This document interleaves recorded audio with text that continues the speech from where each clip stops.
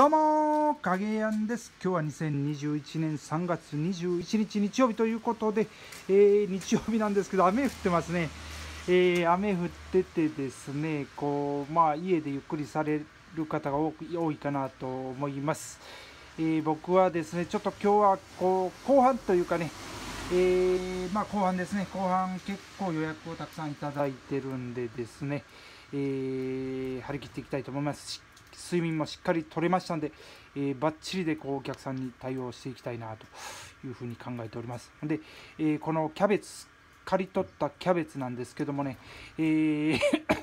うん、次ね何をこう、えー、野菜としてね育てようかなというところですね。ちょっと今度またあのー、買いに行きたいかなとこうえっとあやはりようかな。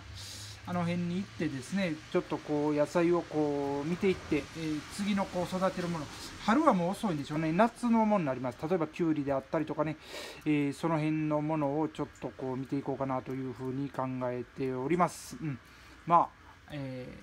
ー、野菜育っていってそれを食べるのがねなかなかこういいんでね、えー、昨日キャベツいただいてまあ、え味に関してはまあ普通かなと。よくそんなに美味しいかどうかようわからないんですけどもまあ一応まあ育ったもんが食べれるっていうことはまあいいことですけどね。ということで以上です。ありがとうございます。